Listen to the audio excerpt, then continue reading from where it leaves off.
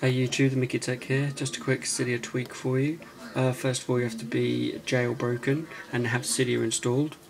Uh, this is on my iPhone 4. Um, so what you need to do, here we go, it's called Random Flip. You can see it already.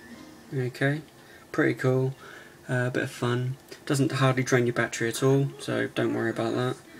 Um, so what you need to do is go to Cydia, here we go, and go to search and type in random flip. There it is, and random flip will appear. Okay, then you just click on it and install it, which I've already done, and then you'll have random icons just turn around, which is pretty cool.